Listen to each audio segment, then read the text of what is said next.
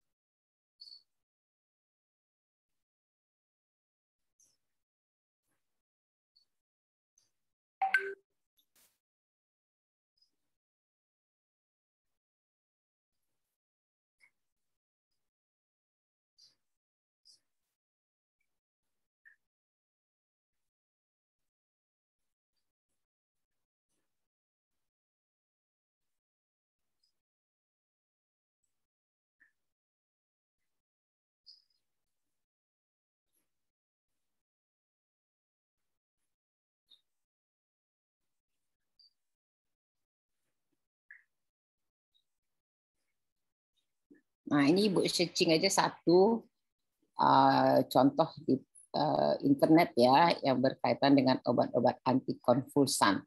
Terus sengaja nggak bikin sendiri. Ya. Nah, jadi uh, dari istilahnya kita bisa mengartikan artinya obat-obat yang ditujukan untuk memberikan uh, istilah lainnya mengendalikan beberapa uh, penyebab dari uh, di sini bisa diterjemahkan salah satunya adalah obat-obat epilepsi ya. Epilepsi ah, kemudian berkaitan dengan syaraf ada infeksi di sini ah, ada dengan neoplasma cedera kepala toksik gangguan metabolisme keturunan. Jadi penyebab daripada eh, epilepsi ah, bukan hanya satu ya. Jadi ada dikarenakan kerusakan pada syaraf atau ada infeksi. Kalau infeksi itu berkaitan dengan uh, mikroorganisme ya. Jadi ada infeksi dari mikroorganisme sehingga sarafnya terganggu, uh, maka akan memberi pengaruh kepada pasien. Kemudian uh, pernah terjadi cedera kepala ya, jadi misalnya waktu kecil ada terjatuh dan dan sebagainya.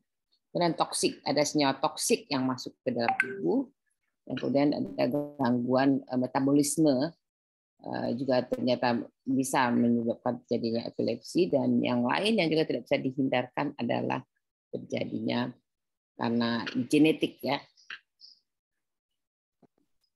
Nah ini kita lihat eh, bahwa pemilihan obat ya. Jadi ibu akan melihat beberapa kita tidak akan lihat terapinya, tapi kita akan lihat beberapa obat yang mulai ya dimulai di tahun tahun 85 itu pilihannya pada kalimbromida. Nah, pada tahun 1912 eh, malah ke golongan eh, berenang ya, fenobarbital. Nah, dan sebelumnya lagi juga kelompok seperti fenitoin. Dan kemudian eh, muncul lagi setelah berkembangnya obat-obat baru Nah, kita tidak akan melihat apa bagaimana ini, tapi kita akan melihat beberapa obat yang ter uh, yang dibahas nanti akan kita bahas. Uh, di sini contohnya karbamazepin ya, uh, yang berkaitan dengan gangguan perilaku dari demensia. Jadi kita menginginkan efeknya memperbaiki gangguan dari perilaku. Kemudian ada eh, yang berhubungan dengan mood ya, berhubungan dengan mood atau suasana hati. Kemudian eh, gabapentin yaitu efikasi yang sudah terbukti adalah sebagai nyeri neuropatik ya.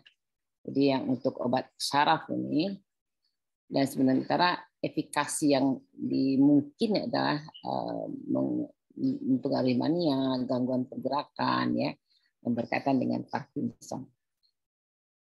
Nah, jadi ini ada beberapa obat yang ada di tabel ini, kemudian uh, lamotrigin, phenytoin dan valproat.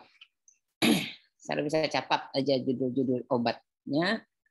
Kemudian, uh, nah di sini ya, di sini bisa dilihat berkaitan dengan kadar efektif kita tidak membahas yang berkaitan dengan kadar, tapi nanti akan kita lihat struktur dari senyawa obat ini. Jadi tugasnya pertama adalah saudara cari 1, 2, 3, 4, 5, 6 ke 6 struktur dari obat ini.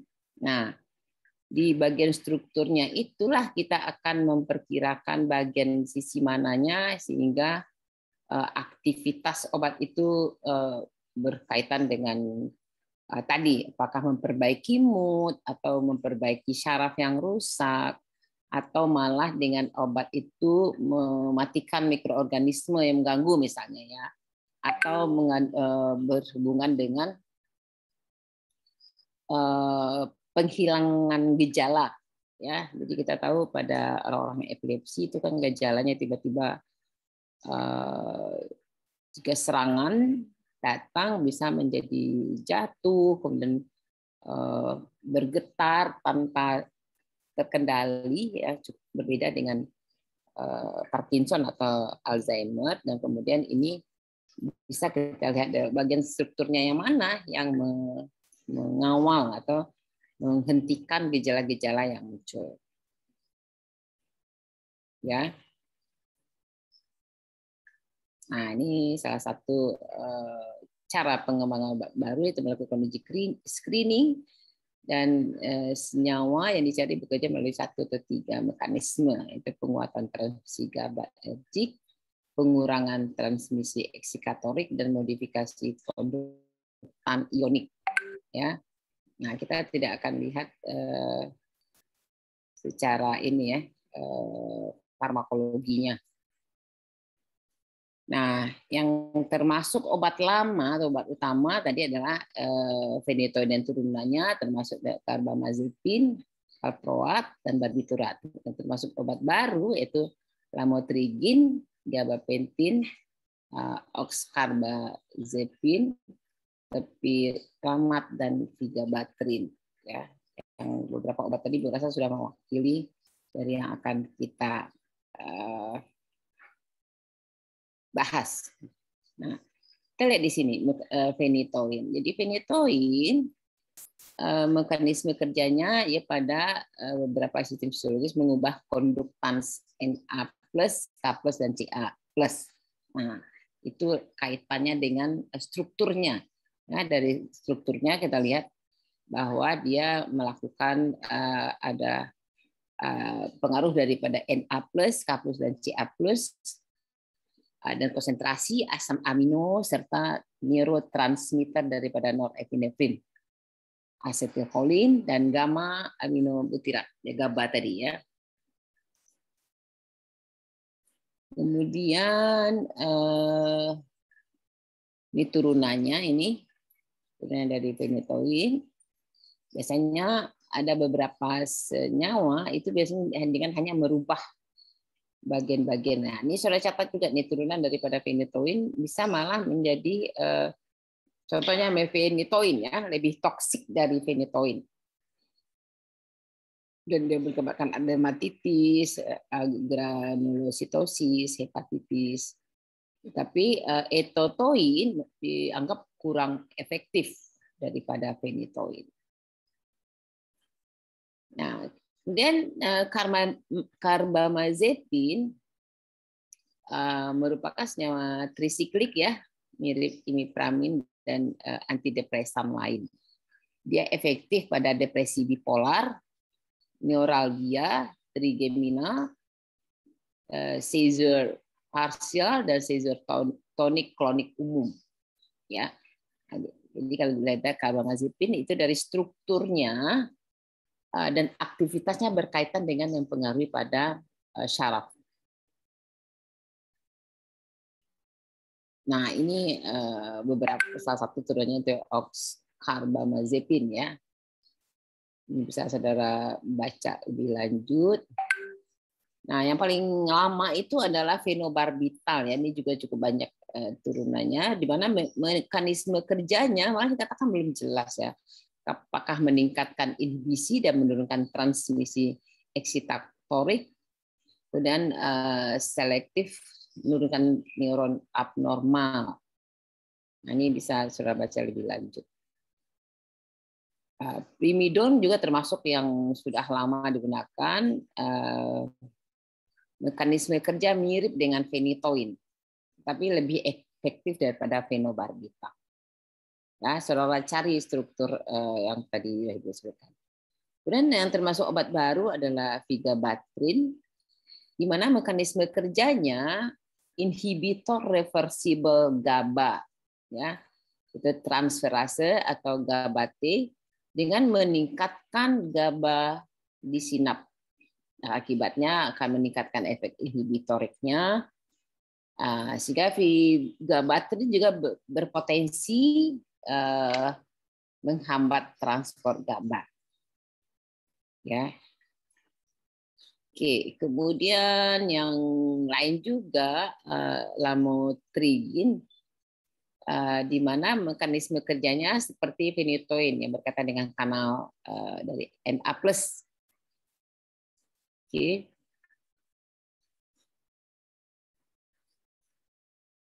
Ini felbamat tadi agak gabapentin mekanisme kerjanya masih juga belum begitu jelas, tapi dia, eh, dianggap dapat mengubah metabolisme gamma non sinaptik atau eh, reuptake dari eh, GABA.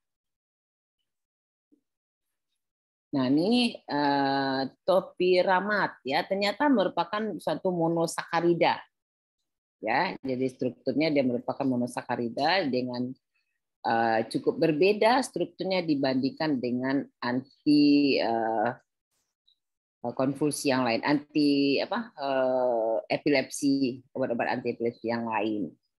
Di mana mekanisme seperti fenitoin dan farmamazepin menyekat kanal NA dan meningkat inhibitorik GABA uh, juga nah seperti itu ya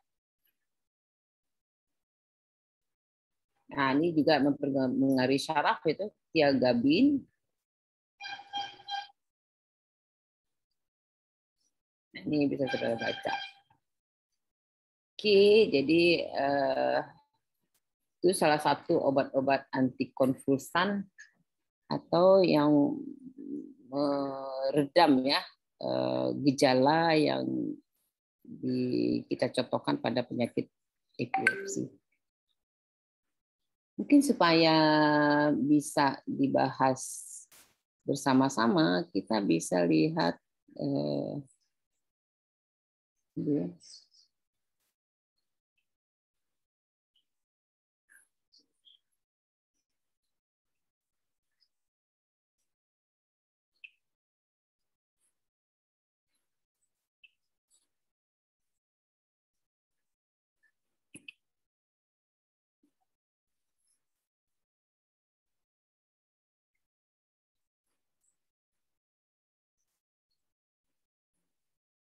anti Parkinson ya.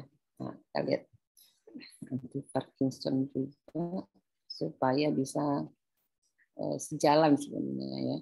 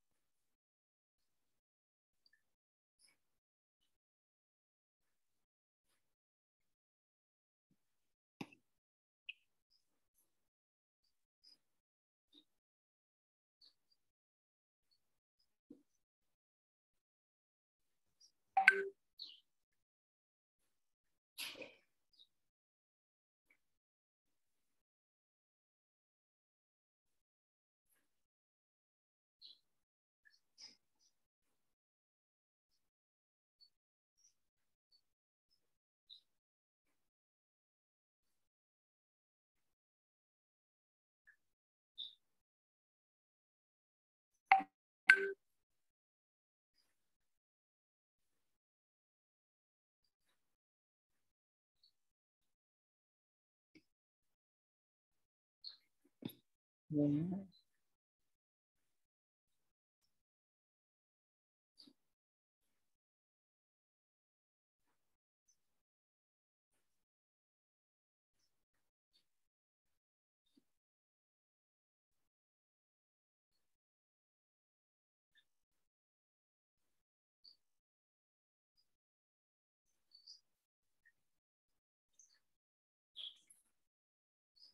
Kita lihat ya obat uh, contoh daripada obat anti uh, konfusi dan anti Parkinson.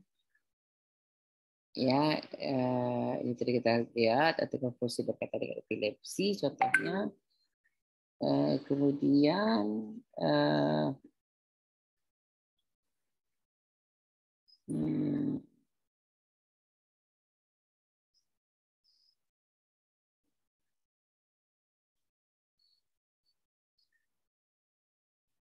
sudah sudah ya, beberapa ya tadi yang tadi yang sudah kita. Kemudian Parkinson ya. Jadi Parkinson eh, penyakit dengan gejala utama gangguan pada neuromuskular. Jadi berkaitan dengan eh, pergerakan otot gitu ya. Jadi ada di sini tremor ya atau eh, rigiditas, akinesia, kelainan postur tubuh dan gaya berjalan. Ya, jadi berbeda. Jadi ini eh, juga salah satu penyakit uh, degeneratif ya terjadi pada orang-orang yang sudah lanjut usia. Tadi uh, penyebabnya kita katakan dia, karena degenerasi neuron uh, dopaminergik pada substansia nigra. Ya, jadi berkaitan dengan uh, dopamin ya. Dopamin punya sifat menghambat atau mendominasi asetilkolin. Beberapa obatnya yang uh, kita lihat pertama kelompok uh, dopaminergic sentral satu adalah levodopa ya levodopa bromokriptin metamfetamin metilfenidat yang kedua kelompok antikolinergik sentral ya. Contohnya ada uh, trihexylphenidil, piperidin, sikrimin, benstropin, prosiklidin ya.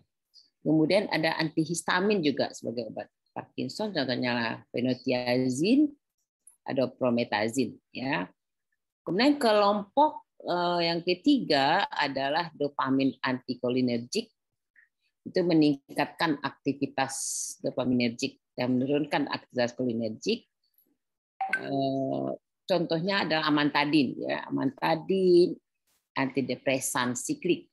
Contohnya ini eh, ini piramin dan amitriptilin ya, amitriptilin ini yang cukup banyak diresepkan oleh dokter untuk obat-obat Parkinson. Yang keempat adalah penghambat eh, MAOB, contohnya seligilin. Yang kelima penghambat COMT, contohnya tolkapon dan entacapon. Ya. Nah itu kedopnya. Jadi uh, bisa kita lihat untuk obat-obat anti konvulsi atau anti konvulsan dengan Parkinson itu ini banyak yang eh, memberikan efek yang sinergi atau sejalan gitu ya sejalan nah ini kita bisa amati dari eh, strukturnya nanti Oke, jadi untuk hari ini kita membahas langsung sekaligus dua bahan ini, yaitu obat eh, anti konvulsan serta obat anti Parkinson. Untuk minggu depan kita bahas ya dengan melihat strukturnya. Jadi tugasnya saudara cari tugas eh, cari eh, strukturnya ke beberapa obat yang Ibu sebutkan tadi. Kemudian minggu depan kita tanya jawab. Ya. Nah, jadi tanya jawab, berdiskusi sehingga pemahaman saudara terkait dengan hubungan struktur dengan aktivitasnya mungkin eh, lebih jelas. Nah, biasanya pada saat mendesain obat eh, baru yang dipengaruhi kan ada beberapa eh, bagian struktur. Apakah dengan merubah struktur tertentu sediaan eh, apa obatnya menjadi lebih mudah larut misalnya sehingga lebih mudah sampai atau malah menjadi lebih sukar larut dia larut dalam lemak sehingga dia cepat sampai ke bagian yang syaraf atau bagian yang kita anggap pada larut lemak Nah, efek lebih efektif pada kondisi larut lemak daripada larut air. Nah, itu contoh misal, ya kan? Nah, jadi kita akan bahas minggu depan. Untuk tugas bisa saudara kirim ke email ya. Ibu nggak mau ke Yahoo eh, ke Gmail karena itu cepat udah hampir penuh. Jadi saudara kirim ke Yahoo Ibu, di mana emailnya Marlina underscore Adli Marlinanya biasa kayak nama ibu, tapi huruf kecil semua underscore Adli A D L Y ya at yahoo.com. Nanti ibu tulis lengkap juga di grup nanti. Uh, dan kita bahas terkait kedua uh, ini karena kalau ibu lihat tadi ada lima topik ya sementara waktu kita akan uh, tinggal empat kali pertemuan lagi.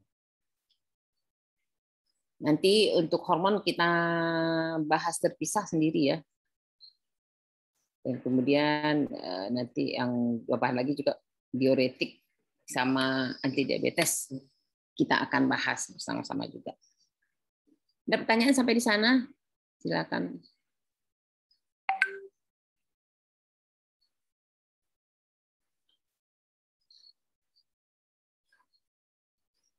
Kalau tidak ada, Bu cukupkan. Izin bertanya, Bu.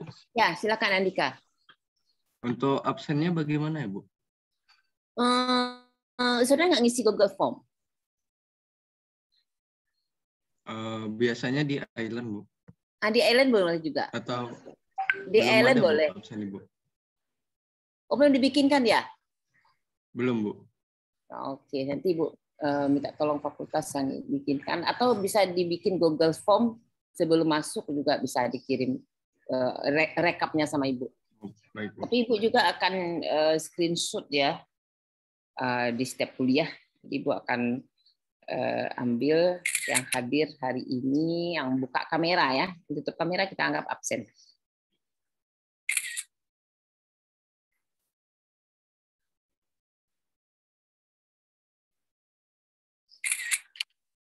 Oke, Ibu udah screenshot sebanyak 75 pesertanya hari ini. Total mahasiswanya pengikutnya berapa orang? Uh, sekitar 85, Bu.